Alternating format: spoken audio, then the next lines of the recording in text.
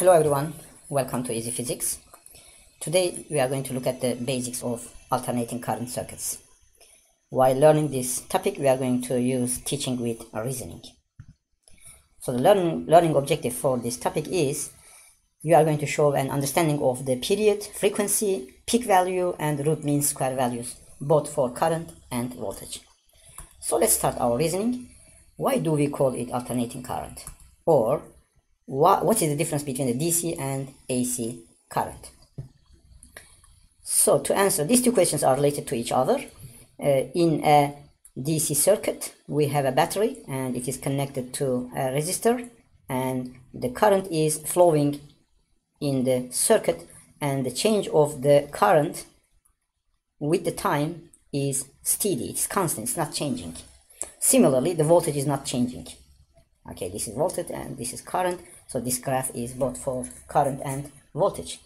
On the other hand, if you have an alternating current circuit, this is the voltage source. If you connect it to a resistor or any other alternating current circuit element, then now in this case, in this case, the current is going to once flow in this direction and then it's going to move in the opposite direction. The current is going to oscillate, it's going to change the direction with the time. So the change of the current or the voltage with the time is going to be something like this. It's going to be a sine function. So this is the basic difference between the DC and AC current. How does an AC source work? For this lesson, just I will simply explain it. Next lesson, I will explain the details of AC generator. Now, assume you have a magnet and you have another magnet here and this is the N pole and this is the S pole. There is magnetic field lines from N to S.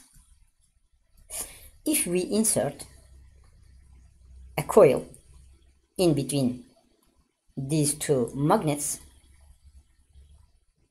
And if we rotate this coil along this axis okay by some power maybe by hydroelectric power by uh, wind power solar power if you rotate this coil in the in between the two uh, magnets we are going to get a current which is flowing in the the current is going to be induced in this coil once in this direction and in that direction. As the uh, as the coil rotate in between the two magnets in, the magnetic field the direction of the current which is induced uh, because of the uh, Faraday's law of induction the direction of the current is going to change uh, back and forth. It is going to be something like this as I said before. So this is the basic description of alternating current source what is period and what is frequency. If the current and voltage are always changing, then what is the period and frequency in this case? The period is the time to complete one oscillation. For example, if you are oscillating on a swing, okay, it will move back and forth like this. Okay, so if you start from here, it moves to that direction, to that side, and then move back to the initial position. The time passed is called one uh, one period. In the in the case of voltage or current, now assume this is the voltage change or change of voltage with the time. It is zero and then it becomes maximum and then it becomes zero again and then it becomes minimum and then it becomes zero again. So this is the one complete oscillation of the current. In the circuit, in, in, in an alternating current circuit is going to be something like this. So the current is initially zero, it will increase, increase and increase, it will uh, increase in this direction and it will reach a maximum value and then it will decrease in this direction as shown here it will increase and it will decrease in the same direction. It will, be, will become zero and then it will move back. It will increase in the opposite direction. It will reach a maximum value and then it will be zero again. So this is one complete oscillation. On the other hand the frequency of oscillation is the number of oscillation per unit time. If your unit time is second for example what is the number of the oscillation uh, in one second? For example if you are on a swing what is the number of oscillations for example in one hour? If your unit time is hour then the frequency is going to be uh, I mean rotations or cycles per hour. And in the case of the uh, voltage or current, a changing voltage or a changing current, I mean the alternating current in the alternating current circuit, the frequency is the uh, number of, I mean the number of oscillations, I mean this is one full oscillation. How many oscillations of this kind in one second or in one minute or in one hour? It depends on your unit time. So there is a relationship between uh, frequency and uh, uh period, t is equal to 1 over f or f is equal to 1 over t or or f times t is equal to 1. So the um, SI, Standard International Unit for Frequency, is the cycle per second, and we call it Hertz. So uh, the unit for the frequency is Hertz. So 1 Hertz is equal to 1 over second, or second to the negative 1. This is the unit of the frequency, it's Hertz. Let's solve an example. A medical imaging, uh, a medical imaging device produces ultrasound by oscillating with a period of 0.5 microsecond. So the period of the oscillation t is equal to 0.5 microseconds. It will be equal to 5 times 10 to the negative 7 seconds. So we know that the frequency is equal to 1 over t. It will be 1 over 5 times 10 to the negative 7 and this will give us 2 times 10 to the 6 hertz. This means that the ultrasound device is oscillating, uh, is producing sound with a frequency of 2 times 10 to the 6 hertz. The next question is, if your heart rate is 120 beats per minute during an exercise, what is the time per beat in units of seconds? Now here we know that the frequency is given, it is equal to 1 over 20 and 1 over mean, I mean 20, 1 over mean. This is the frequency of the heart, uh, heart rate. So how can we find the period? We know that the period is equal to 1 over f, which is going to be equal to 1 over 120. So this is going to be in terms of um, minutes, I mean seconds, I'm sorry, I'm sorry, minutes, and we need to find it in terms of seconds. So to change it to seconds we need to multiply 1 over 20 1 over 20 with 60 so this is going to give us 0.5 second. It means that the period of the beat of uh, beat of our heart in this kind of exercise is going to be 0.5 second. Let's look at the peak average and root mean square values. What is the peak value the peak value is the maximum value attained by an, by an alternating quantity during one cycle. If you have, for example, your voltage is oscillating like this, I'm sorry, this is not a good graph, let me draw another one here, sorry. Let me start from zero, so it goes up and then oscillates down and then it moves like this. Here is the maximum value, this is the peak value, V peak. And this is also a peak value, but this is a negative value. This is maximum peak value and this is minimum peak value. The average value of such an uh, oscillation is the average of all instantaneous values of an alternating voltage or currents over one complete cycle.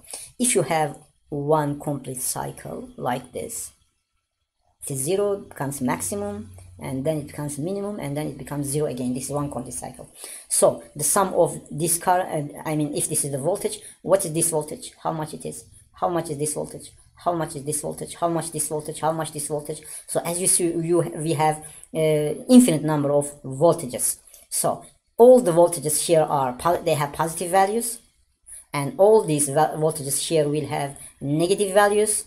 So if we sum all these positive values with all these negative values it will be equal to zero. So the average value of this function is equal to zero. So what is RMS value RMS value is the effective value of the alternating uh, current. What does the effective value of the alternating current? Let's explain it with an example. Uh, so if we have two identical uh, light bulbs here and here, one of them is connected to the DC current source and the other one is connected to alternating current source. The, if the brightness of these two if the brightness of these two bulbs are equal to each other, it turns out that, for example, if this is 6 volt the RMS VRMS value of this uh, source is also 6 volt. You know the voltage here is constant with the time. The voltage here is constant with the time. It's not changing, sorry. So the voltage here is not changing, it's constant with the time. But the voltage here is changing with the time okay? So since it is changing uh, the with the time what is an effective value of this uh, changing uh, voltage? It is called um, vrms value of the voltage or the current. Or in other words it is the equivalent steady dc value which gives the same effect. Okay? So how do we calculate the root mean square value? For this please look at this change of the current with the time. This is the sine function so the average value of this function is equal to i. Average here will be equal to zero as I explained before. So uh, but why the average value of this function is zero? Because all positive values here and all negative values here are canceling each other. So it is similar for other cycles.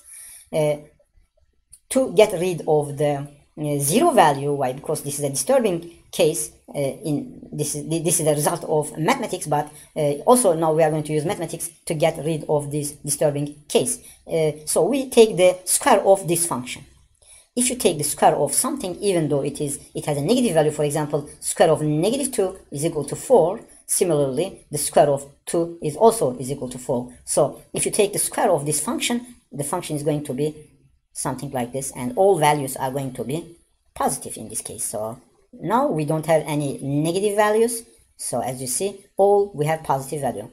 But in this case if we take i average in this case it will be equal to i squared divided by 2 and in this case uh, the the unit of the current is ampere amperes so it will be ampere square but we need we need the average value which ha which has uh, uh, which has a unit equal to ampere. So so for to get uh, an to get an average value actually it's not average value but root mean square value of this function we need we need to take the square root of this one. So i rms will be equal to square root of i squared divided by 2 so we will get i divided by 2 square root of 2 so uh, as you see uh, this is the way to calculate root mean square speed first we have a function okay? So we take the square of this function okay? Then we find the average value for this function. It is going to be something like this. But this average value is not uh, what we uh, are looking for. Then we take the square root of this one. Why? Because we have we have take we have take the square. Now we take the square root. So we get rid of the negative values and uh, and now we are going to have uh, I, uh, I RMS value or V RMS value. It's also going to be equal to V over square root of 2 actually this is V0 and I0 they are the peak values. We call the peak values I0 or V0 so uh, VRMS or IRMS value is going to be something here. This value is going to be closer to between the average value and the maximum value. So as you see the root mean square current is going to be equal to I over square root of 2 and it's approximately 0.707 I0. I0 is the peak uh, current. Similarly, the root mean square voltage will be equal to uh, V0 divided by square root of 2 as I explained. So it's equal to 0.707 V0. Why do we need RMS value? we need a, a, an RMS value because uh, the current in alternating current circuits it is changing. It's changing with the with the with the time. The current or the voltage is changing with the time. So uh, when this current is changing if you connect it to a circuit if you connect it to a alternating current circuit uh, if for example this is a heater it heats up the environment. So the current is going to flow to that direction and that direction is going to move back and forth the direction of the current is not important uh, in heating the, uh, the, the resistance. So while the electrons are moving in this direction, they are going to collide with the atoms and the, uh, the, the, the, resistor is going to heat up. If it moves in the opposite direction, again the electrons are going to uh, collide with the atoms, again it's going to heat up. So the direction is not important, but here when we show the graph like this, if we take the average value, the average value is going to be zero in this case. So mathematically, it shows a zero value if you take the average of this function. But physically, as I explained it here, it heats up. I mean, the, the heater is heating up, it gives heat to the around, it heats up. Okay, so so the average value, if the average value is zero, then we shouldn't get any heat energy from the current. But really, we, we get it. It means that there is an effective value of the current in the circuit, uh, and also it is called E effective. It is equal to E I mean current RMS value. So if you we have such a, a, function, it may be the function of the current or the voltage, the average value is going to be, this is going to be the average value which is zero. But root mean square value is going to be equal to something like this and it is somehow smaller than the peak value but it is closer to the peak value as I said it is approximately IRMS is equal to 0.707 I0 I0 is the maximum value uh, VRMS is equal to 0.707 V0 let's solve an example and then finish our topic okay a typical household uh, circuit operates with an RMS voltage of 120 volt. So the voltage in your houses is the VRMS voltage. It is the voltage. It is the VRMS voltage. Uh, so we are asked to find the, what is the maximum value. So from the earlier uh, formulas, the maximum value is going to be equal to square root of 2 VRMS. It will be equal to square root of 2 times 120 and it will be approximately equal to 170 volt this is the peak value and this is the vrms value which we use in our houses okay let's look at a conceptual question uh, i have a heater of 240 volt and 50 hertz i would like to this heater to be used with 240 volt but 60 hertz frequency.